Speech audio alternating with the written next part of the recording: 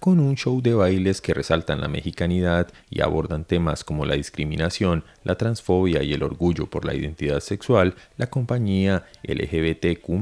México de Colores presentó su espectáculo en la ciudad de Guadalajara con 17 bailarines en escena que dieron vida a 13 piezas de danza mexicana en las que se conjugan los bailes típicos, el cabaret, la picardía mexicana, el humor negro y un mensaje de tolerancia hacia la comunidad LGBT. El director de la compañía, Carlos Antúnez, cree que la compañía tiene el reto de mostrar una versión contemporánea de la cultura mexicana